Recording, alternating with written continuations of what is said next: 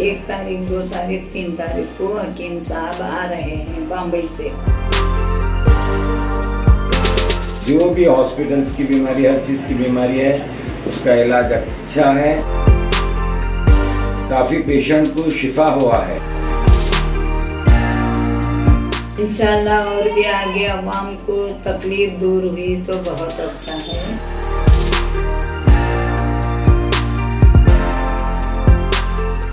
हमारी वालदा ज़्यादा से ज़्यादा अवाम को अच्छे से अच्छा फ़ायदा पहुँचने के लिए ये कैंप रखा जा रहा है।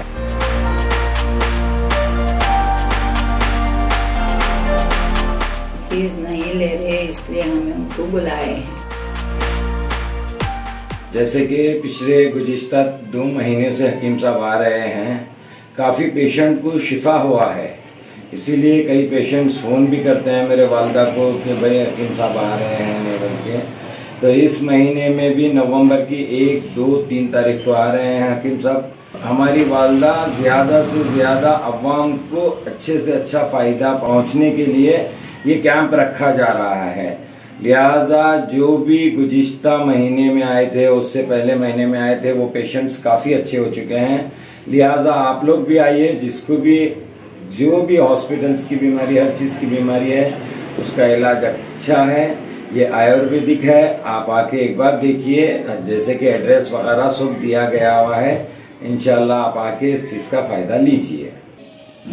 मैं जो हकीम साहब बम्बई से आ रहे हैं, उनका इलाज बहुत अच्छा हो रहा है।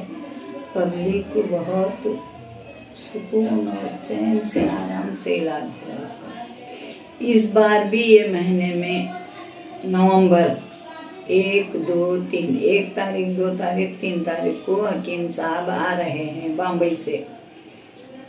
हर मर्ज का इलाज है उनके पास और काफ़ी लोग पिछले महीने में भी आराम हो गए, उधर के महीने में भी आराम हुए अब ये तीसरी मरतबा है हकीम साहब आने में।